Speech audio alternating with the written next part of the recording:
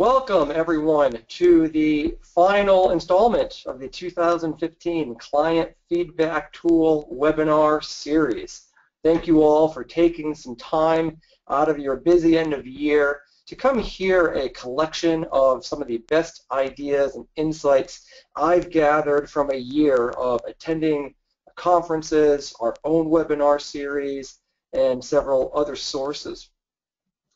While the rest of you who are uh, dialing in or getting set up, let me take care of just a little bit of housekeeping. If you are new to the GoToWebinar platform, on the right-hand side of the screen, you should see a control panel. If the control panel is big and covering your view of the window, there's a little right-hand arrow at the top that you can click to collapse and hide the control panel. If all you see is a tiny little control panel up at the top, there's a left-hand arrow you can click which will expand the control panel to give you additional options. I tell you that because I do want to engage you, the audience, with questions throughout the course of the webinar. We've got 10 ideas here. Some of them are pretty different and broad, and I'd like to handle the questions as they come in as much as possible.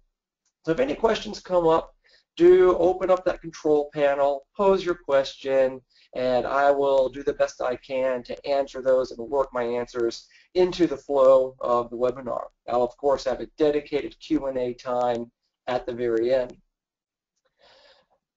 Please do stick around to the end and know that when we finish the webinar, I will reach out to each one of you with a feedback request to gather your feedback on what you learned and how well this presentation helped add value uh, uh, per your expectations.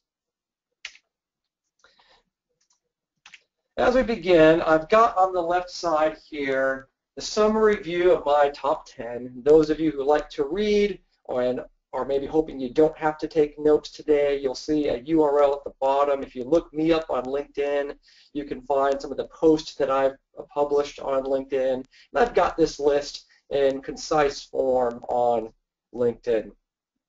And what I've really tried to do today, I've I've attended about a dozen conferences, dozens of sessions and breakup sessions at the conferences. We hosted our own conference this year and had a dozen great firms present some incredible ideas of how they're doing things in their business.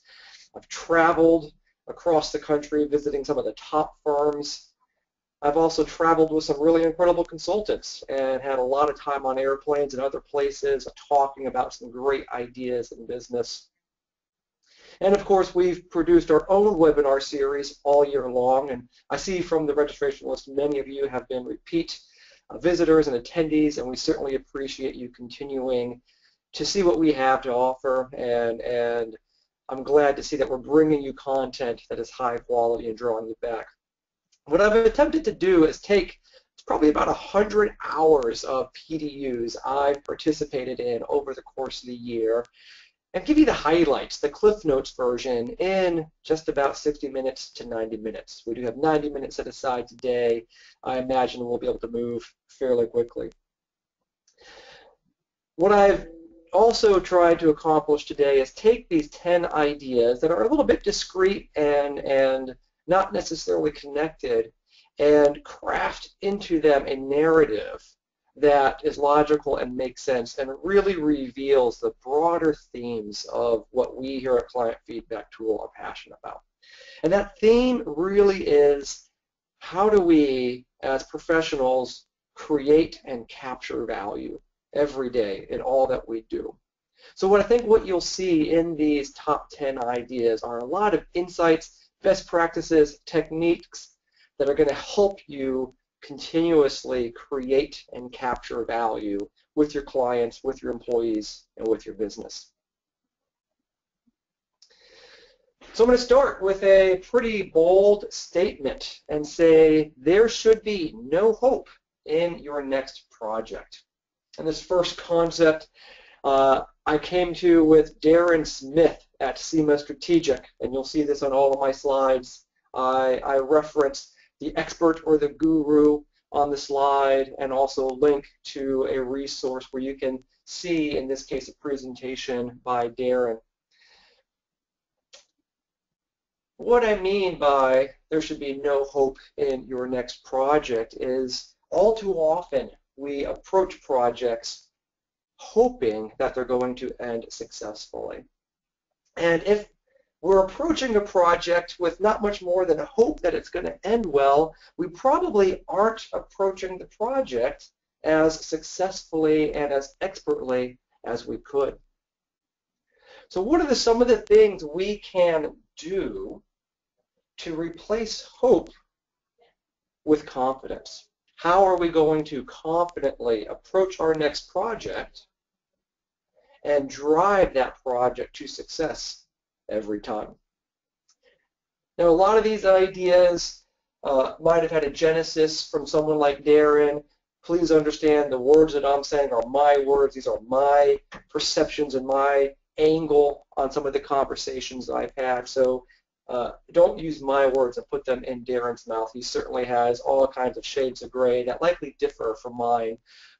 But these are some of the things that come out of what I've learned. And being a top 10 list, I imagine those of you attending are list makers. You like the bullet points. So I'm going to leave each one of these uh, 10 ideas and whittle them down to just a couple of bullet points to help you capture the ideas and hopefully take action on some of these. So first, don't hope. No. Know going into your project that it's going to be successful. And how do you do that? How do you go about a project successfully every time? And if you uh, listen to Darren and read some of his content, he's got a great thriving group on LinkedIn. You'll find the theme that really comes out is this idea of collaborating. And we all think we know what collaborate means, but when you start to really understand a clear definition of what it means to collaborate. Collaboration is more than coordination, it's more than cooperation. We're not just participating in a project together. True collaboration looks like all of us putting the team first. And this is internally with our internal collaborators. This is externally on a project with uh, clients and, and sub-consultants and, and peers and all the other players we're working with. And I'll make a, a, Star Trek reference here. This is really that idea, the need of the many outweigh the need of the one. So when we set up collaboration effectively on a project and on a team, each person on the team is looking at the whole, at the unit, as the thing to, op to optimize and to drive to a better, higher outcome. And when we do that well, we end up with something Darren calls the best project ever experience. And the best project ever experience is more than on time, on budget, and profitable. And, and unfortunately, far too few of our projects have those outcomes. Uh, that should be the default outcome on time, on budget, and, and uh, profitable. But the best project ever goes a step further. It's fun. It's satisfying. It's the kind of project, boy, we wish we could do over and over again. And it's the kind of people we wish we could work with all the time. So to start your process of replacing hope with confidence, what I'm going to encourage you to do is take some time and describe what the best project ever experience was and then seek to understand what are the parameters, what are the, the qualities of that project and of that team that made it the best project ever. And then start asking yourself the question, if we did this once, and if we understand what created that outcome, why can't we do that more consistently? Why can't we do that all the time? And this leads to another idea, and I'm borrowing this idea from Atanya Salarvand and Ali Need from ValeoCon. I saw them at a, a quality conference, service quality conference, and I had heard about this idea of client journey mapping, but I've never really seen and understood the detail to, to what this does and how a client journey map can help.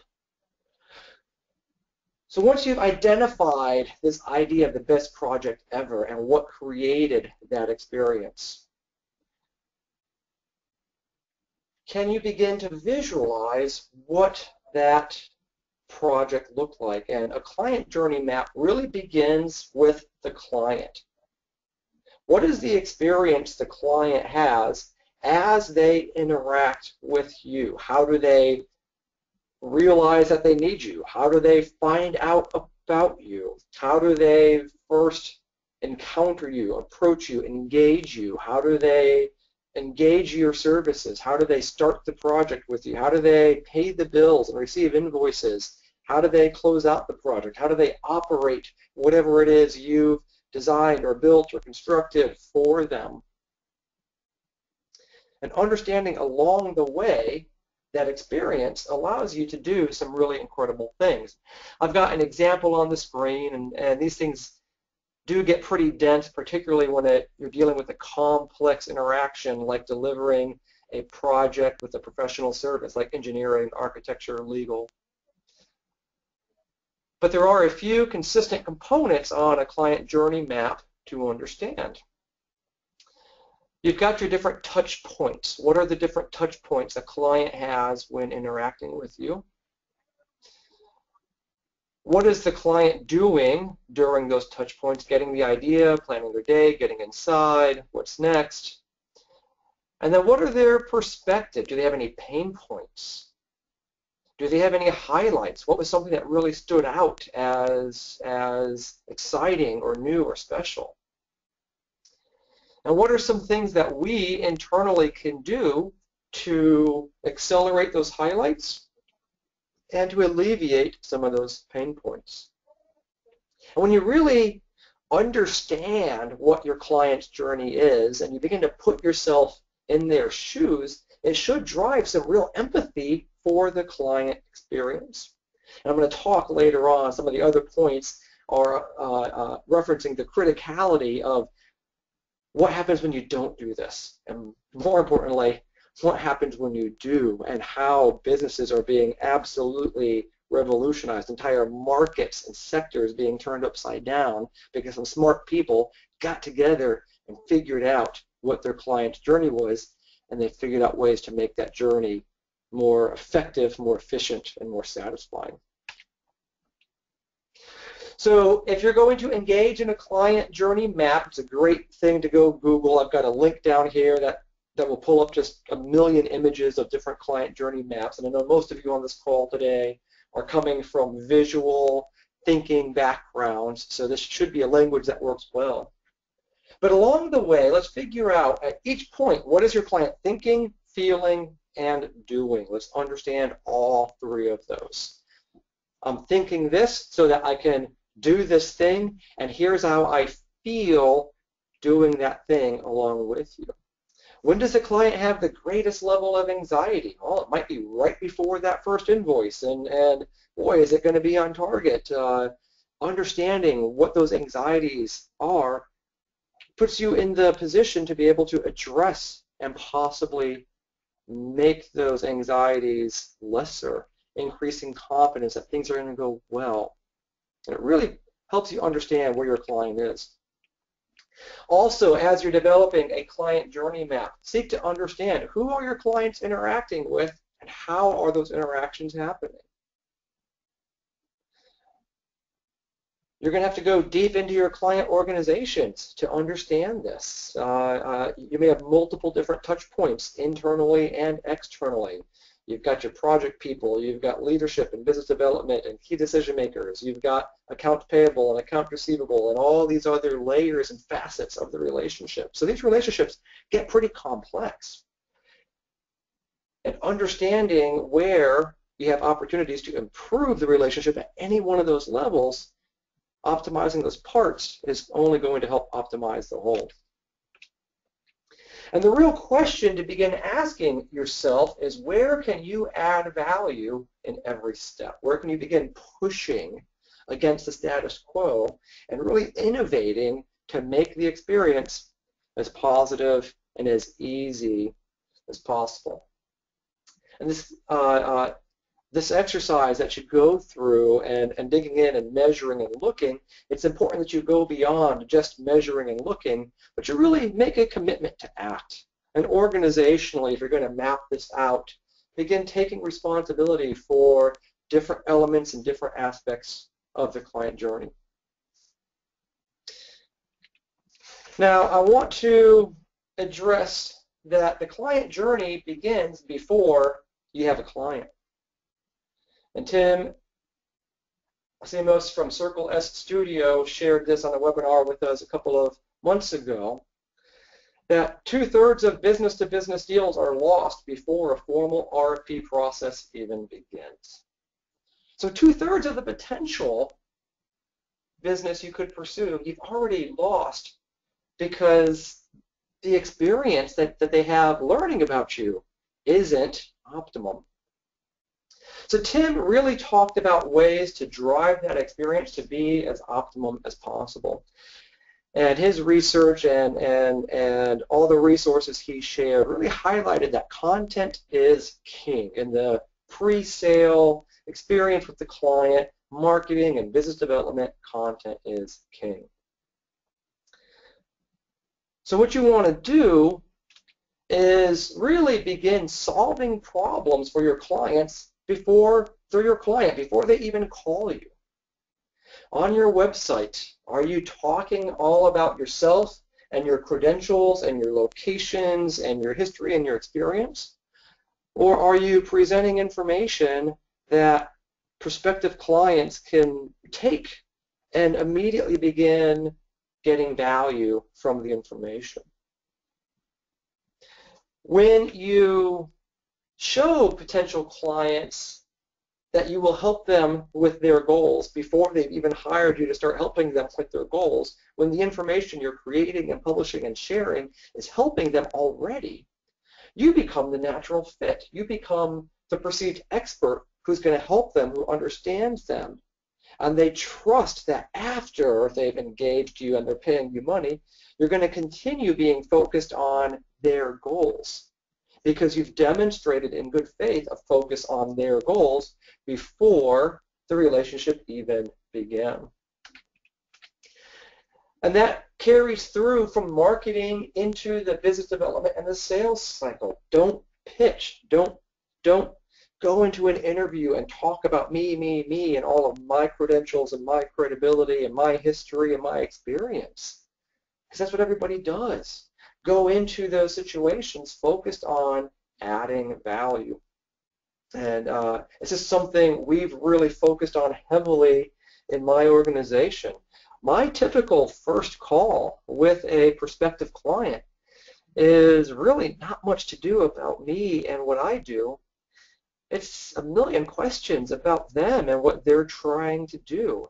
I'm really seeking to understand their business, and by asking the right kinds of questions the right kind of way, I'm, I'm consulting with them, and their answers are helping them see their business in new ways. And just, just conversing in the sales cycle is helping them understand their business and advance their business, even if they choose not to do business with us.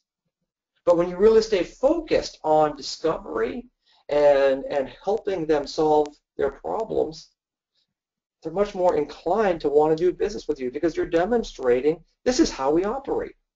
Your marketing is all focused on helping me solve my problems, understand what's going on. You're teaching me things, you're educating me, and I'm using what you're sharing to make myself better before we even talk. And then we start talking, and the questions you're asking, and how you're helping me understand my business and my goals. My business is getting better before I even bought. Well, of course, if you're doing that in marketing and sales, you're going to keep doing that for me once we've engaged. So it makes that path, that client journey, value added every step of the way. And then you do get the business. You've now engaged the client. You're working together on a project and we can begin talking about ways to discover client delighters.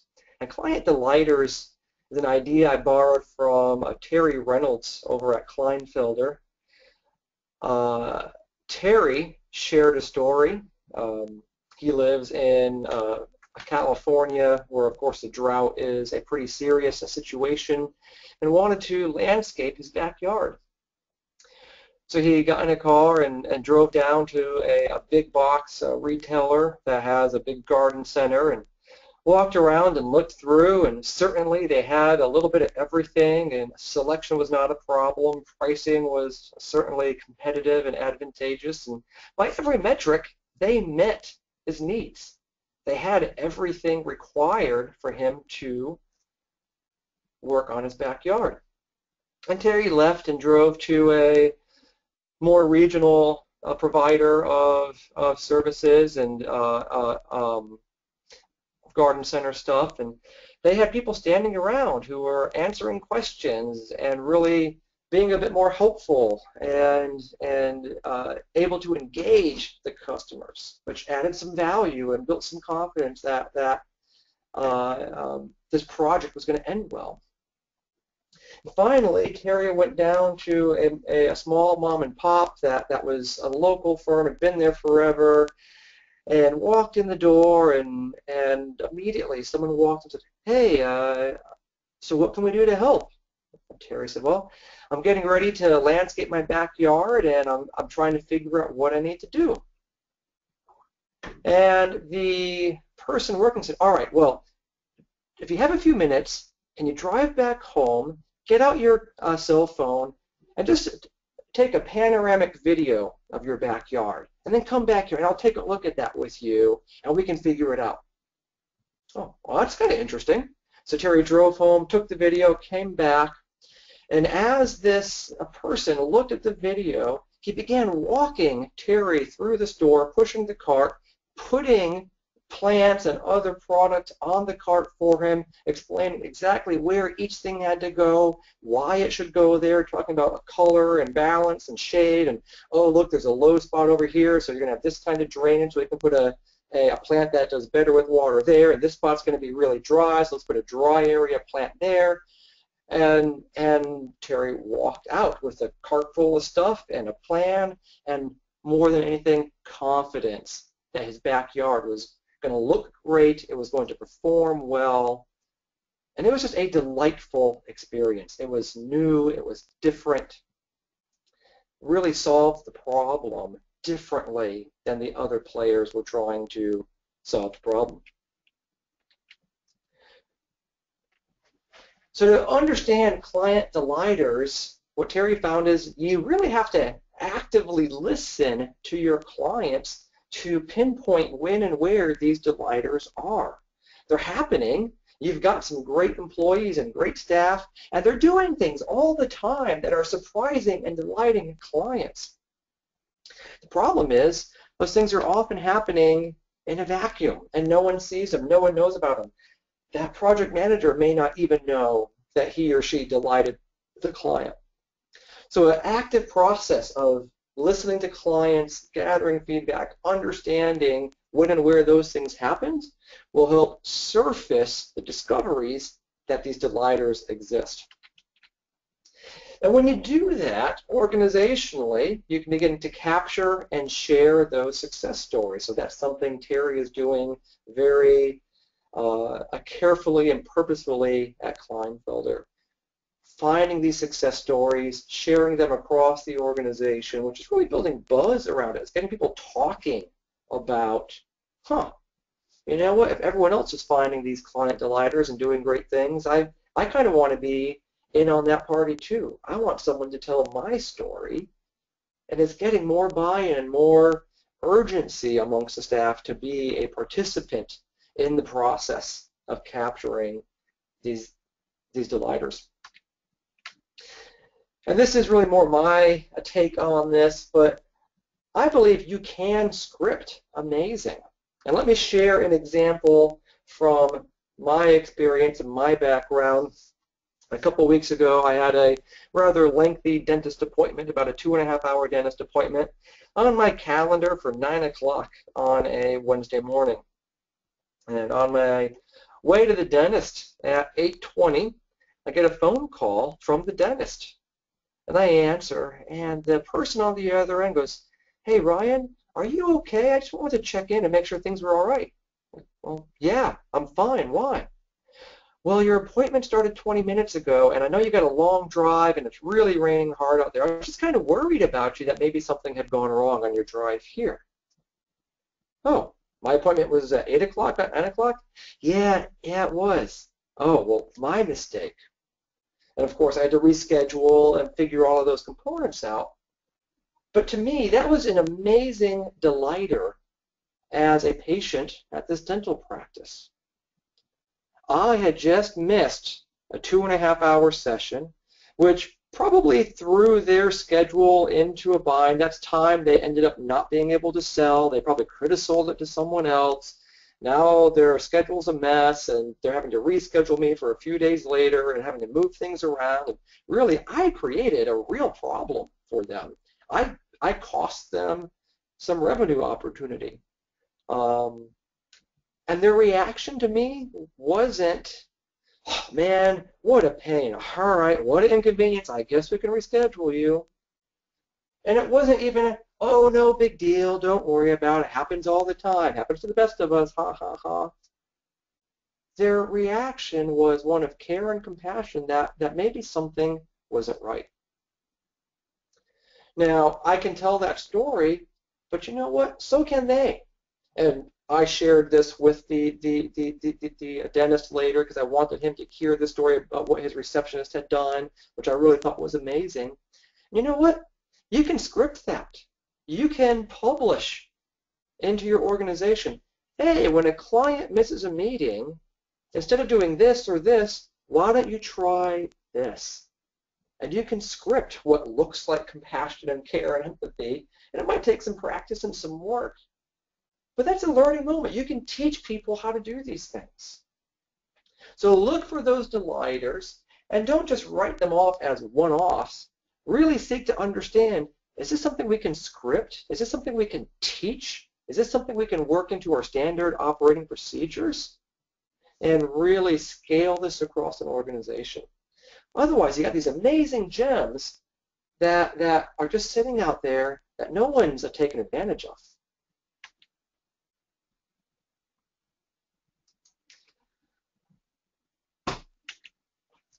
So as we move forward on these ideas, uh, we've talked about some of the positives here. I want to bring up some risk management strategies as part of this driving value to client.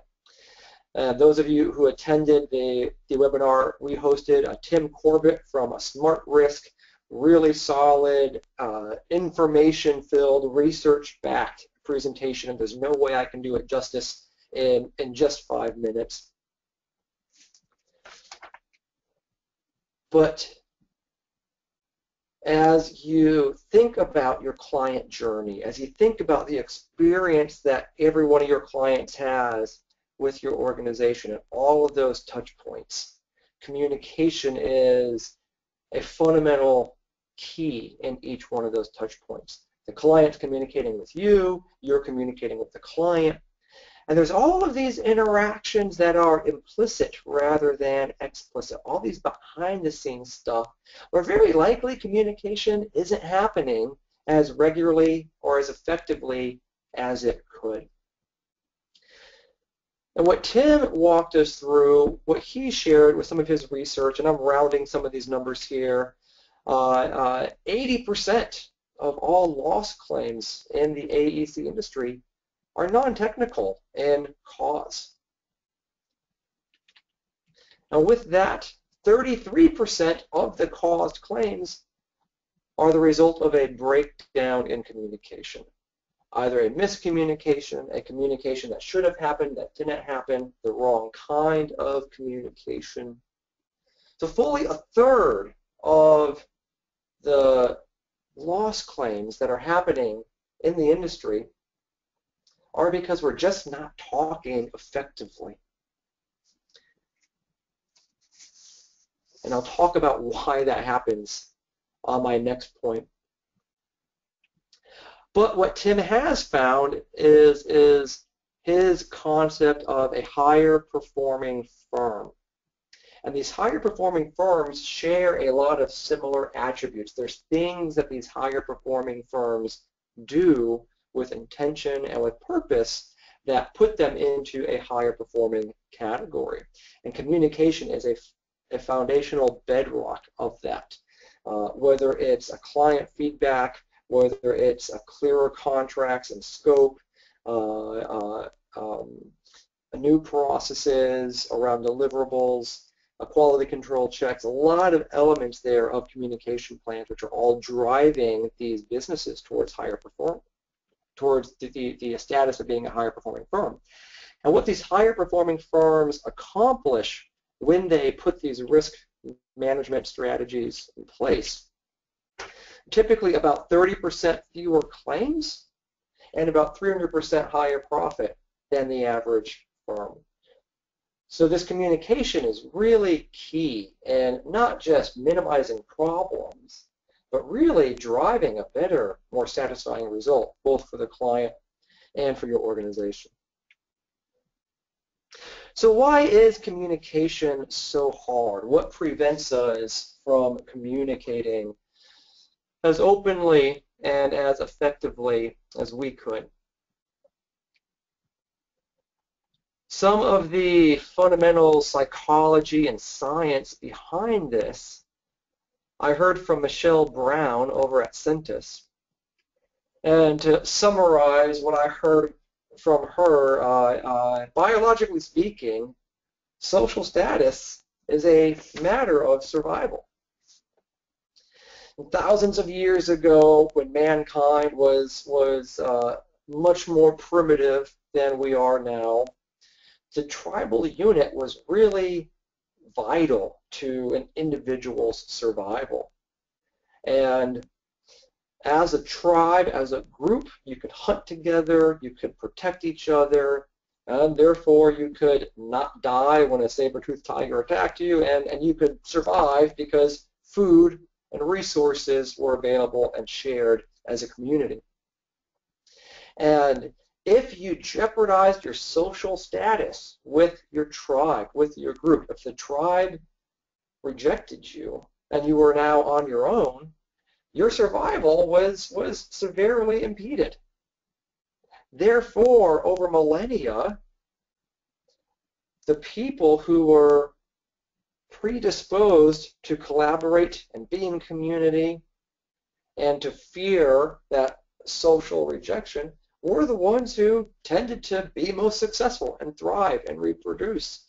So what's happened over generation after generation after generation is, is we are hardwired, literally hardwired, to fear our social status being jeopardized. So biologically, social status was a survival imperative. And I, I, talked about that millennia ago. For some of us, it may have just been a couple decades ago in middle school. Certainly, social status feels like a survival imperative at certain points in our, our individual development. But what's really happening in the background is there's a neurochemical reaction when our social status is threatened. And you may have heard about some of these uh, chemicals in our brain, uh, dopamine, which is a, a positive reactor, a cortisol, which is a stress reaction. And when our social status feels threatened, we have a cortisol reaction, which puts our brain into that raw, a fundamental fight or flight mode. So it's actually chemistry in our brains, chemicals moving around, triggering synapses to have the very strong reactions we have towards social status. The outcome of that is uh, uh, no one wants to be the messenger and bring bad news. Why? Well, because at points in history past, the bearer of bad news was sometimes shot. Uh, uh, so no one wants to be the bearer of bad news. No one wants to be the one to point out a flaw or, or risk saying there might be a problem over here because if you're wrong, then, then do you get laughed at? Are you ostracized? The whole uh, social status begins to fall apart. And it's It's just biology. It's just chemicals moving around in your brain that are really causing that gut reaction you have and some of that fear that you have towards these interactions. And what's really interesting is with practice, you can actually change your brain. You can rewire yourself to react differently, not just emotionally, but biochemically. You can react differently to these situations. And I'll share an experience uh, from myself. I, I tend to be a bit of a thrill seeker. I, I tend to like uh, um, living on the edge. I get a dopamine response rather than a cortisol response doing fun, exciting things. But I still remember uh, probably the, the highest fear moment in my life from a pure physical survival level was the first time I went rappelling. And there I was at the precipice of a 107-foot cliff. I had never been rappelling or rock climbing before.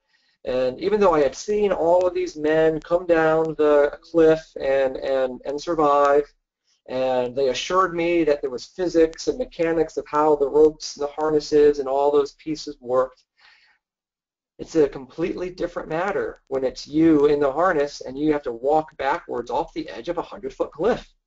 Uh, that that was a high cortisol moment, and it took uh, a, a, tremendous amount of mind over matter to to put myself on the edge, to lean back, and abandon my senses and fall down the side of the cliff.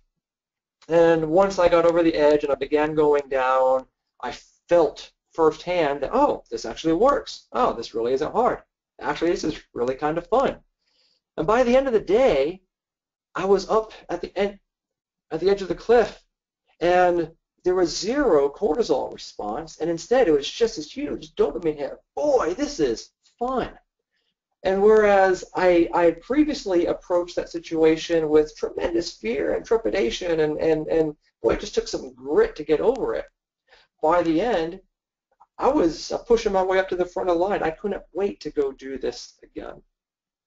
So when you're dealing with challenging social interactions, when you feel like your social status may be threatened, boy, if I say something, is that gonna uh, is that gonna mean I don't get a promotion, or or uh, boy, did, does that make someone else look better than me? And, and boy, I don't want to admit fault here. I mean, I know it's kind of my fault, but I don't want to be the one who messed up. Uh, all those things that we deal with that that are driving very strong cortisol reactions. If we can gut through it, encounter it, and look for the positive in it, understanding that really in 21st century mankind, at least those of you who have the resources to be on the webinar today, you're not going to die. Those fundamental reactions we have are millennia old. They, they don't really apply anymore. So let's not let our biology and our chemistry get in the way from really being smart with how we engage and react with each other.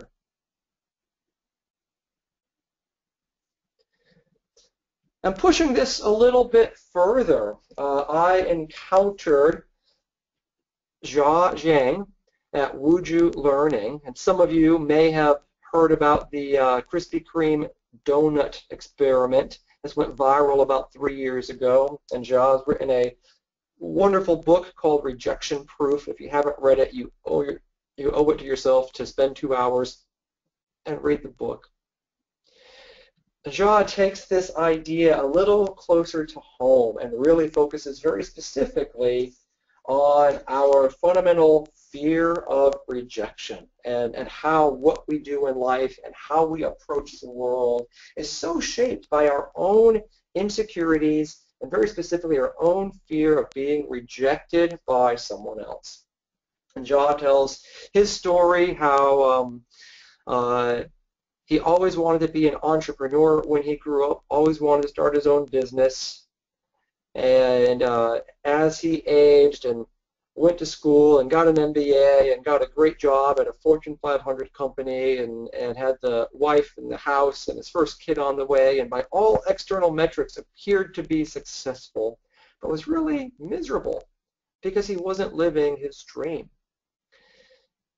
Unfortunately for him, he had a, a wife who, who recognized his unhappiness, and even though their first child was due to be born in, in just a matter of months, said, hey, look, uh, if not now, when?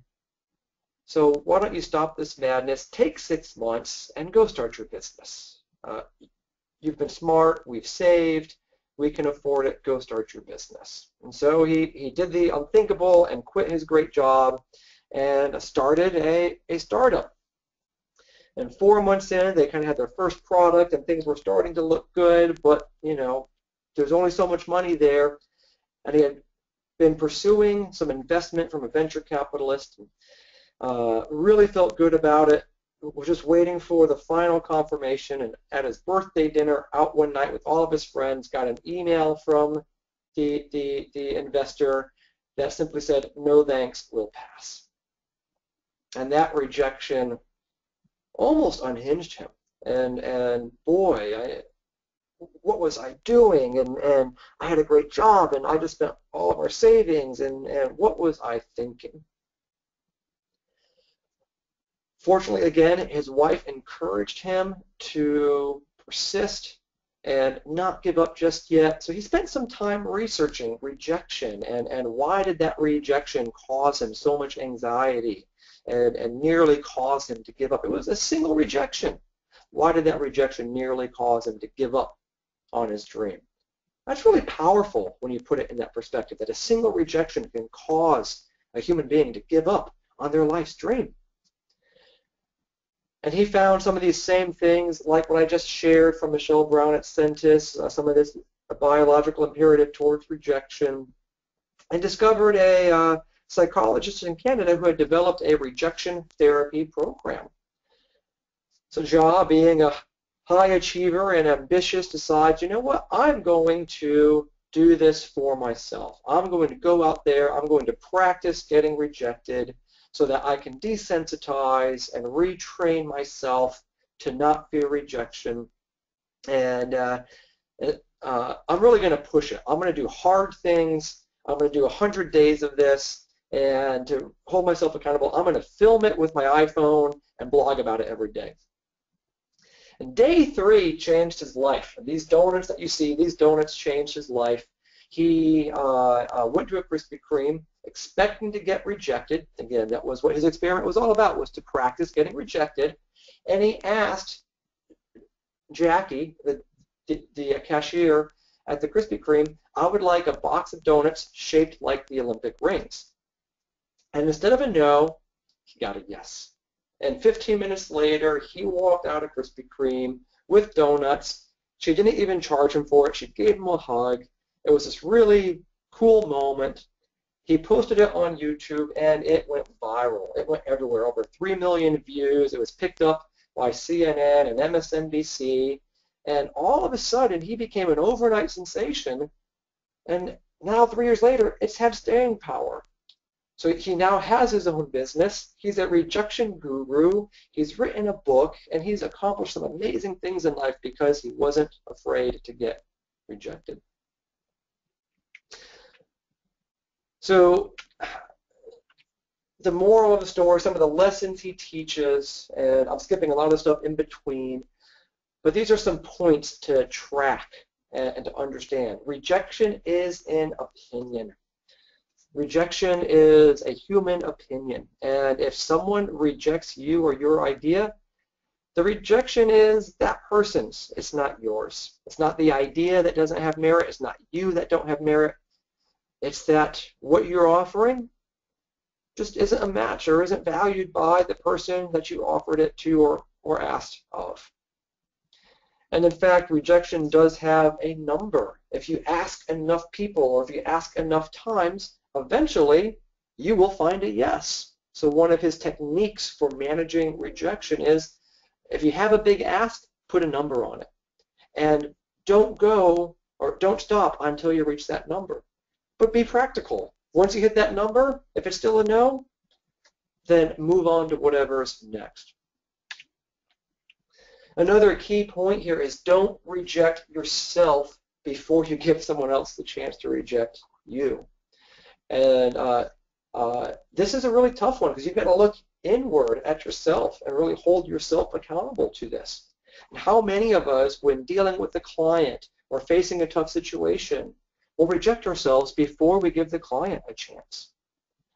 I was talking with a, a firm owner uh, just a couple weeks ago, uh, uh, Kathy, and she said, yeah, I hadn't raised my personal rates in about six years, seven years, and um, you know, I was just, boy, it's tough. And and uh, finally, I decided to give myself a five dollar an hour raise on my hourly rate for my clients, and and I just did it with one client, and um, boy, it was so hard to do and they never said anything about it. It's like they didn't even notice. They just paid the bills. So all those years that Kathy was not giving herself that $5 an hour bump in the hourly rate was years of opportunity lost because she had rejected herself. She had simply assumed someone else would reject her, so, so she, she rejected herself first.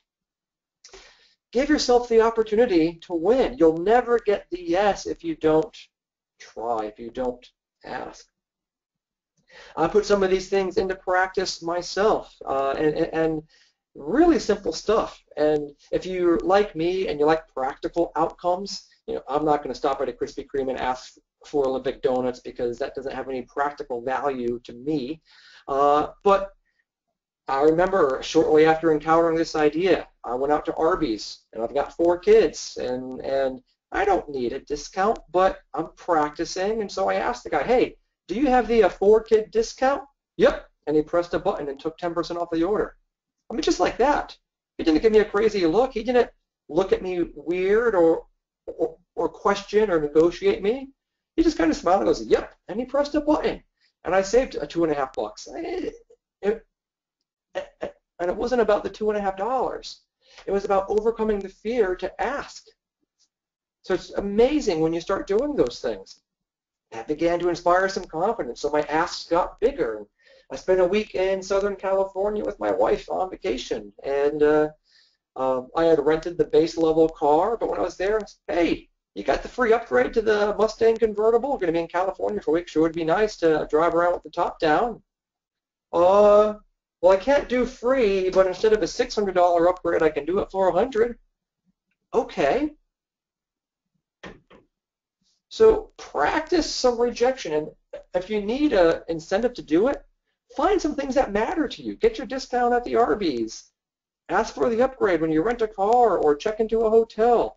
I've gotten so many corner suites at no extra cost. I ask every time I check into a hotel for the, the, the free upgrade. It's amazing if you just ask. If you just put yourself out there, you'll get. And you know what? What's the worst? They say, nope, can't do it. It doesn't hurt my feelings. I, I don't expect them to do it. It's not their job to just give stuff away. So there's really nothing lost. It costs you nothing to just ask. So practice where it's easy and it's safe, and then set yourself up for some bigger, more important asks, like that change order that the client just asked for a bunch of extra work, and it's going to cost a bunch of extra time and money. And instead of losing it on your margin, ask with confidence. And when you do experience a rejection, understand the why that's behind it. Every time there's a no, seek to understand why. Why not? And you don't have to be impertinent or rude with understanding the why, but approach the no with some real curiosity. Huh, well, why not? Oh, well, sir, I can't give you the corner suite upgrade because we've got a conference and so all the corner suites have already been booked. Oh, okay. So you're not rejecting me. You're not saying no to me. You can't say yes because they're all reserved. All right. Easy to understand. And oftentimes when you ask someone why they said no and they start explaining to you, they'll realize, you know, there's no reason for my no and the no will become a sure, why not?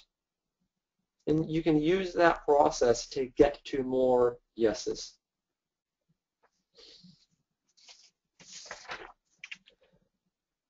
Which leads to this idea, if we're going to start asking why, how do we ask why in better ways? And what other kinds of questions can we ask to more precisely understand the situation that we're in, or to more precisely understand a client's wants and needs?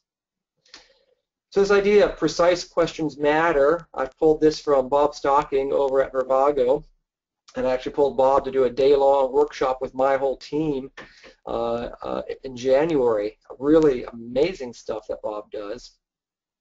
And Bob focuses on helping people learn to communicate more concisely and more effectively. And that's done by precise questioning and concise answering of those questions. So what Verbago has put together is a taxonomy of different kinds of questions. Why are we here? Focusing type questions, a clarification, what do you mean by this? Uh, assumptions, evidence, causes, effects, action. And then giving some techniques and some processes to go from the general, what do you mean, to a more precise question. By this, did you mean A or did you mean B? Let me make sure I understand. So it's a much more precise way to ask a question than the general, what do you mean? And when you begin putting these tools into practice, asking well will begin improving communication. By asking the right question, you're going to get the information that you're looking for more easily, more quickly. And when you're focused on asking good questions, it changes your focus and how you listen. And because you're being intentional in what you ask and how you ask, you're listening to understand rather than listening to respond.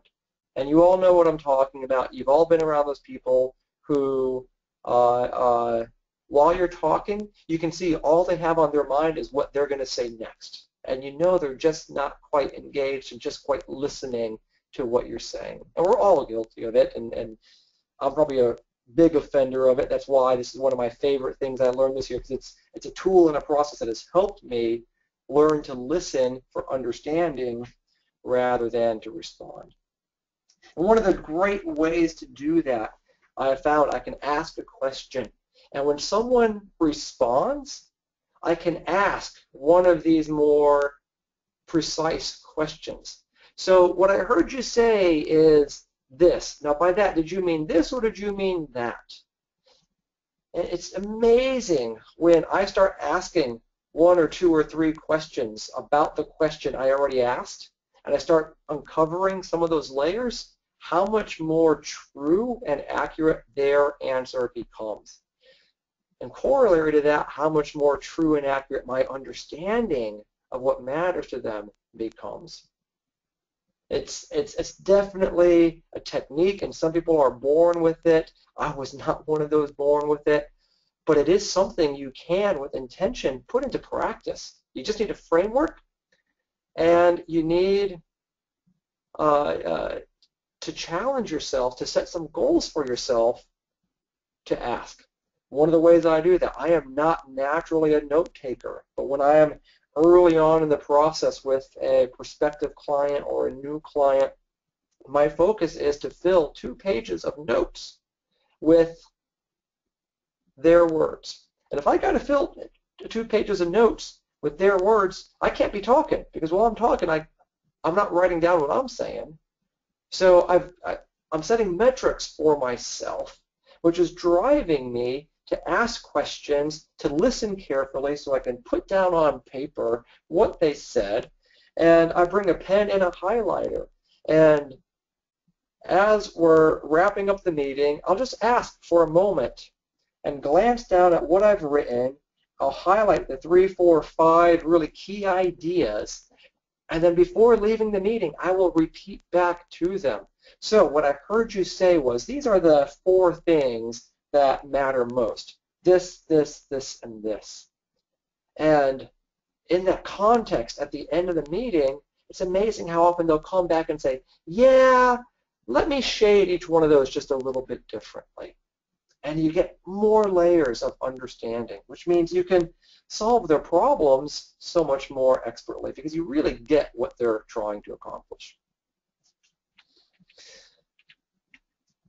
And to enable that to happen, in order to ask and ask a lot of questions and have time to let them talk, when they ask me questions, I need to be able to answer concisely and directly. And that's, again, not something I was born with. It's not a natural thing I do, but it is a skill I've been more and more effective at developing over the course of the year, ever since I've worked with Bob and, and put some of his techniques into play. Very often people ask a yes or no question, and they're not really wanting a simple yes or no. They want a little bit of a context around it but our natural reaction tends to be to give the context before giving the yes or the no. And often we'll get off on a side trail and never get around to the yes or the no. What Verbago promotes is when there's a yes or no question, immediately answer yes or no. And if you need to be thoughtful about it for a moment, indicate that you're being thoughtful, and then answer yes. And here's why. No, and let me give you some background on, on why not. So you're answering concisely and directly so they know. All of a sudden they can pay attention to what you're saying rather than have to figure out, are you saying yes? Are you saying no? And, and if you don't answer the question that they asked, they're listening at a different level than if you had just gone ahead and been direct and given them the answer they were looking for. And when you do get to any expository information beyond the simple answer as a technique and a practice to, to force your answers into brevity, tell them what you're going to tell them. No. And let me tell you three reasons why not. First, and give a bullet point. Second, and then your bullet point. Third, and then your bullet point. Are there any of these we need to talk about in more detail? And you can answer a question really, really concisely that way which means you have more airtime to ask them questions and hear them talk and better understand them. Meanwhile, they're listening to you with rapt attention because you're giving them exactly what they asked for. And all of these first eight points lead up to the final two. These are really the culmination, and in many ways they're almost the same thing.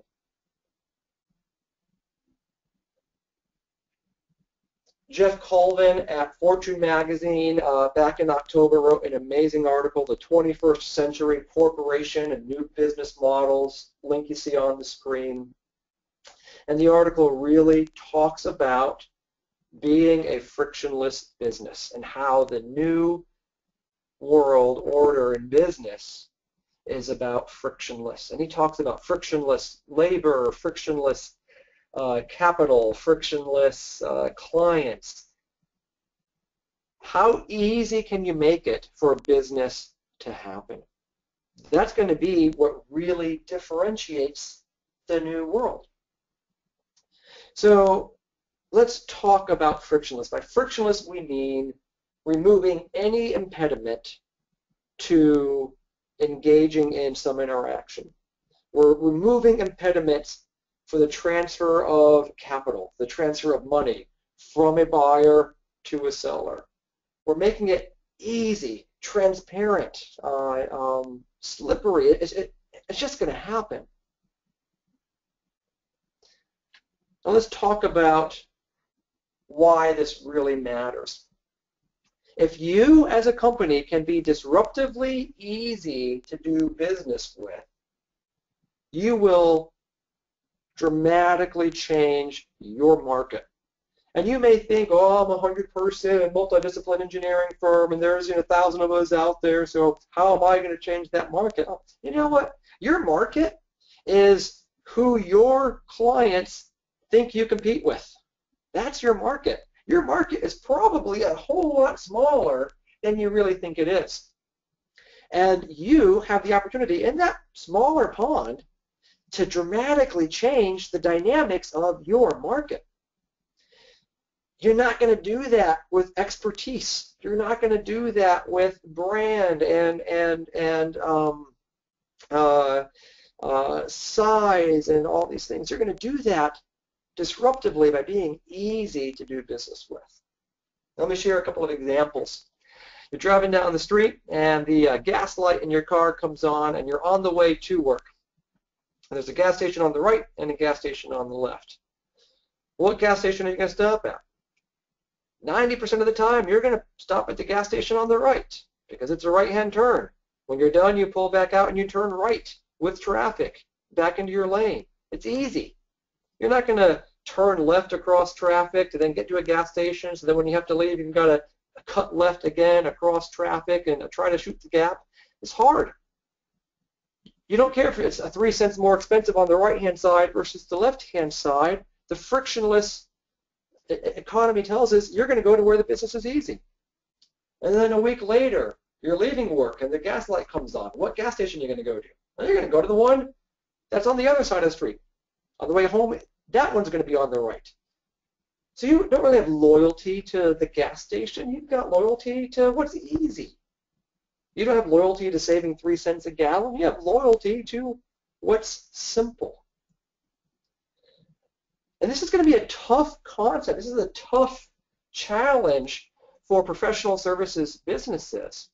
And I don't know that I have all the answers. And, and it's something I am continuing to seek understanding and clarity on my business and what I do and how I do it. But what if you took the mental capacity of your people? You guys are professional service providers. You got some really smart people that have some incredible education. You're creative. You solve problems. You got some brilliant, brilliant brain trust there. What if you focused a portion of that energy on disrupting the way clients do business with you? What if you re-engineered the process of consuming your services and do it differently than anybody else and make it so easy that they wouldn't possibly want to go across the street to someone else? Now you're not commodity. Now you're not competing on price. You're competing on easy. And so few businesses are doing that. So that allows you to differentiate with low friction delivery. And that happens before the sale. Are you easy to engage with? What's your contract process like? How hard is it to actually do business with you? What does the invoicing process look like? How hard is it to pay you? Uh, um, what if we could just really simplify all of those elements so that it's a delight. We've talked about delighters. It's a delight to do business with you because it just it just works. A great example of this is the way Uber has revolutionized the transportation industry. In fact, Uber, from a market capitalization perspective, is now the largest transportation company in the world. And you know what? They don't own a single car. Uber understood that uh, um, you know maybe in downtown New York it's still really easy to jump in a cab and go from point A to point B, uh, um, but in a lot of markets it, it's it's kind of a pain getting from somewhere to somewhere else. If you don't have a car, if you're waiting for a cab, and gosh, there's 17 cab companies, and who do I call, and, and where do I meet them, and, and all this anxiety and frustration around just getting into a car to go somewhere. It's not even about the car itself or, or the fees and fares paid. So Uber said, you know what, there's got to be a better way. And they've completely obliterated that market by delivering things differently, by making it easy to do. Now I travel quite a bit, and when I land at an airport and I walk out, I'm not going to call an Uber because there's a whole line of cabs waiting right there. I walk up to the one first in line, sit down, and takes me to my destination. It's easy. It's low friction. But once I'm there, I don't see another cab for the rest of the trip. And let me talk to you about a specific example of how I personally got started with Uber. And it's about being frictionless before we even start doing business together. I was up in Cambridge, Massachusetts, working with a client, and the meeting ended. I had two hours to go from Cambridge to actually taking off of the runway, which left me an hour to get from Cambridge to the airport, an hour to get through the airport onto the plane. Perfect timing. And on the way out of my client's office, I asked the receptionist to call me a cab, and she kind of looks at me and, okay, I guess. And so she's thumbing through the phone book trying to find a cab and calls, and it's going to be an hour and a half to get a cab. And she calls two other cab companies, and they're all saying the same thing, hour and a half to get a cab.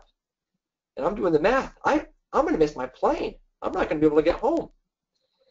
So I'm standing outside the client, kind of waiting, tapping my toe, frustrated, anxious, and I remember, oh yeah, there's this Uber thing. Let me try that out. Look it up, find it in the App Store.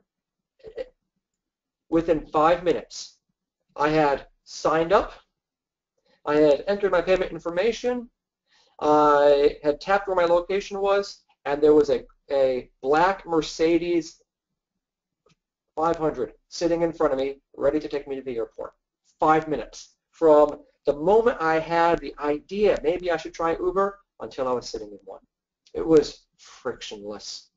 It was so easy. The cab company was so high friction, I didn't even know who to call to cancel the cab. So there was probably some poor cabbie sitting there wondering where the heck I was. But they just made it hard. They just made it hard.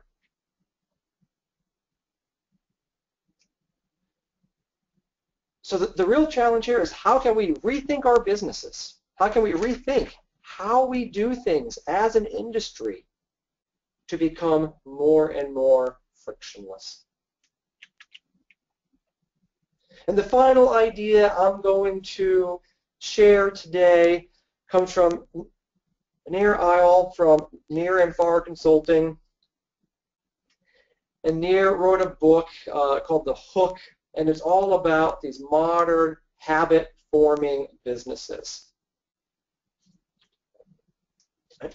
Nir's particular interest, particular focus is in the, the software world, particularly social and apps and, and all those things that you get addicted to on your cell phones.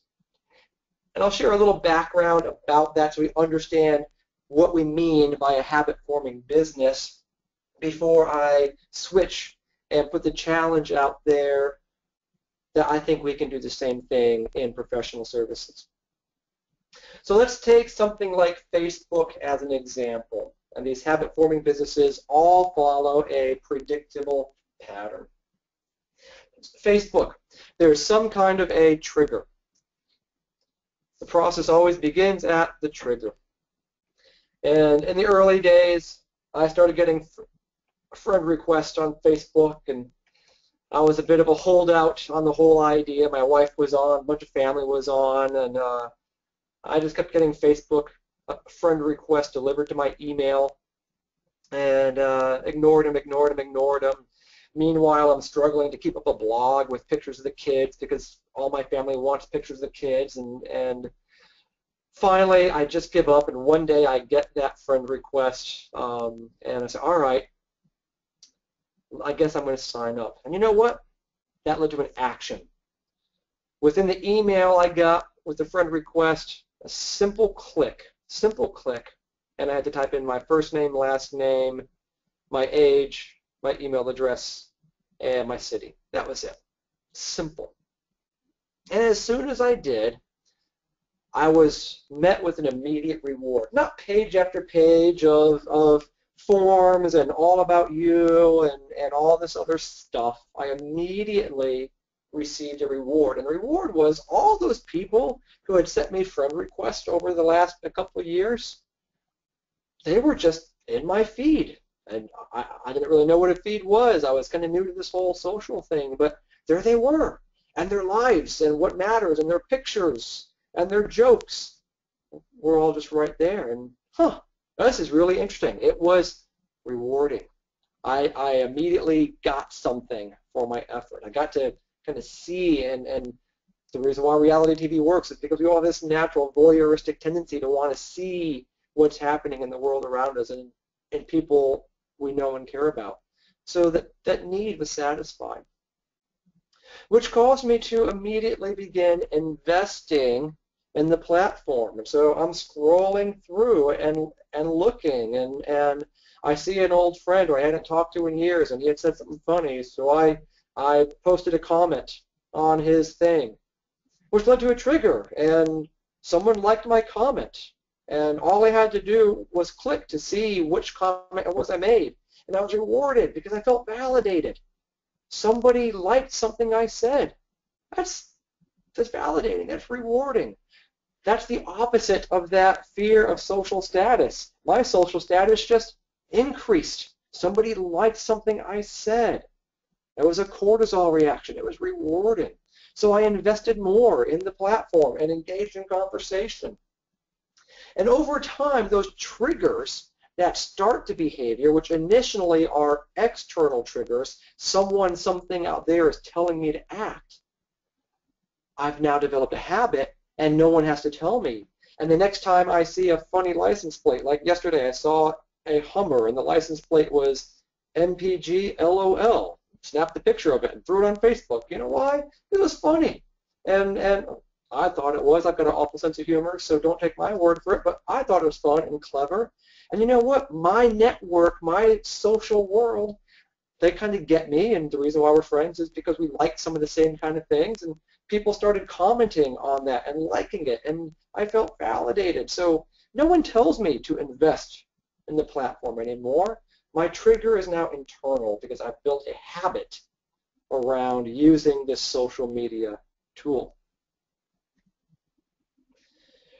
So the, the challenge I'm laying out there, and again, these are some things I've been working on for my business. I don't know that I've got them all figured out yet, but these are definitely uh, uh, uh, things I'm still thinking about and working on and trying to figure out how me and my business and you and your business, how we as an industry of professional service providers can create some habits.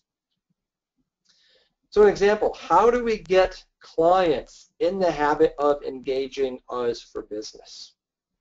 What are some of the triggers that we can put out there? Probably a lot of those triggers go back to that content is king comment.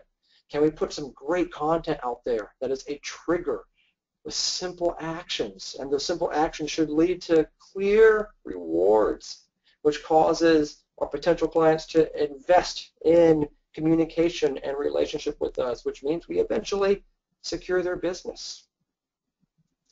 A great example, a, uh, firm that I worked with heard from a client, you know what, it'd be great if you would just send someone by our office a little bit more often. Okay, so they just started sending someone by the office a, a couple times a week. And what happened was the client got in the habit of seeing a project manager on a regular basis. And the client developed a habit of talking to the project manager about stuff he's working on. And the project manager, being no dummy, says, huh, sounds like you're working on that. I think I can help you with that, which is a rewarding experience for the client because, hey, I got someone helping me now. And over a nine-month period, the revenue in that client increased 300% because they were developing new habits, new habits around how they engage. They were really being frictionless. They were meeting the client literally where the client was and making it so easy to help them with their work by physically being there. So that was a frictionless shift in the business model, which developed new habits of engagement, which means this one engineering company tripled the revenue coming from that client, which really means they took a lot of work away from other firms. They began to dramatically shift that little sector of the market by being creative and insightful and operating their business just a little bit differently.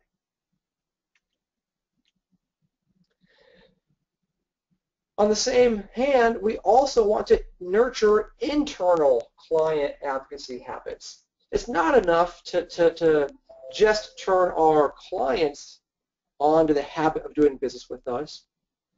we really have to start internally and develop a culture of client advocacy with our own employees. So what are some of the things you can do as leaders to nurture good habits of client advocacy? What triggers can you put out there that cause your people to take action? And that action should be typically driving some kind of a conversation with their clients because those conversations will almost always present rewards. Talking to a client, nine times out of ten, you're going to learn something. You're going to discover something. You're going to make the project better, make the relationship better. You're going to find new opportunities for work and help, which is going to drive up revenue and drive up margins.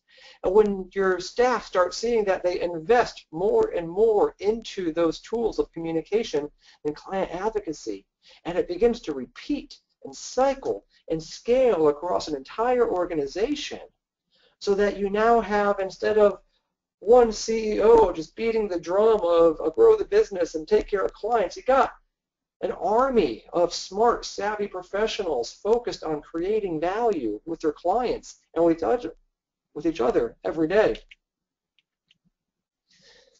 And with both your clients and with your internal staff to make this work, provide immediate, relevant rewards and most of the time, those rewards are not going to be financial. We're not dangling out uh, $50 bonuses or $1,000 bonuses for doing what's smart.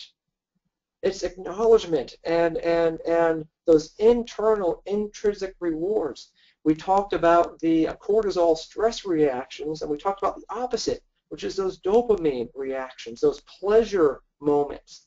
What are some things that are happening just naturally, socially, relationally, inside the interactions of your teams and your projects and your client organizations that just feel good. It feels right and it's personally satisfying. And you're reaching a deeper level of engagement and understanding and awareness on that reward mechanism.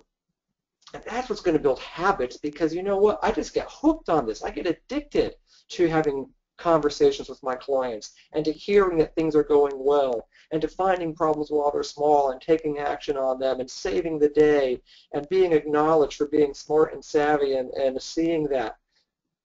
That's all amazing stuff that when you set that culture in place, these habits will begin to develop and perpetuate themselves. So what would your business look like if you accomplished these things, if you put these 10 tips into play? What starts changing about your business? Well, you're going to end up with fearless employees, habitually adding value to their clients and to your business.